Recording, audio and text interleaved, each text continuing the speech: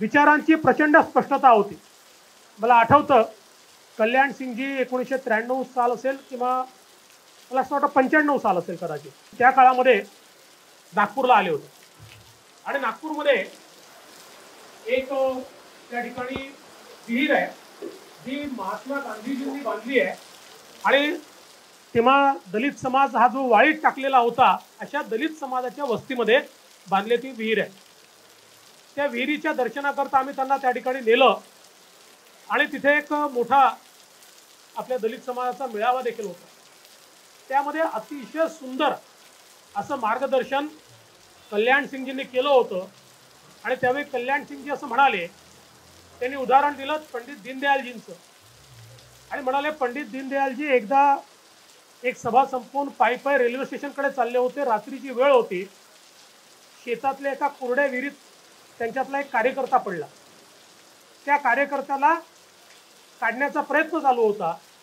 त्यावेळी दीनदयालजींनी सांगितलं की हा जो कार्यकर्ता पडला आहे त्यांनी थोडा वर यायचा प्रयत्न करावा. जे वरचे आहेत त्यांनी हात खाली देण्याचा प्रयत्न करावा. दोघांचे हात एकमेकाच्या हातात येतील आणि त्याला आपण बाहेर काढू शकू. आणि म्हणाले हीच समाजाची अवस्था आहे.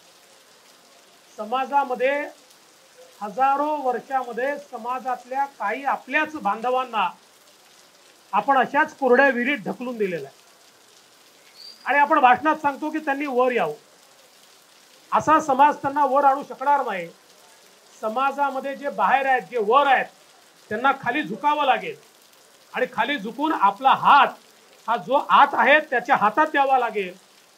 आणि जो खाली आहे त्यालाही हा प्रयत्न करावा लागेल की मला वर यायचं आहे. आणि हे दोन हाता हातात येतील त्यावेळेस जो विहिरीत पडलेला आहे तो त्या विहिरीतनं बाहेर येईल. आणि हे दोन लोक ज्यावेळेस गळे मिळतील त्यावेळी खरा हिंदुस्थान आम्ही तयार करू शकू. अशा प्रकारचं सामाजिक समरसतेचं अतिशय छोटंसं पण तुम्हा आम्हाला समजेल प्रत्येकाला समजेल त्याची भूमिका काय आहे.